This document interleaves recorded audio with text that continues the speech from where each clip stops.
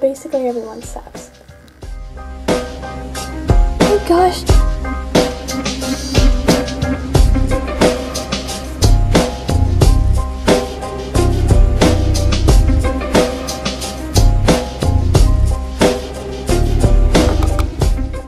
There's gonna be a new girl coming. Her name's Gwen. I can't wait to meet that new girl.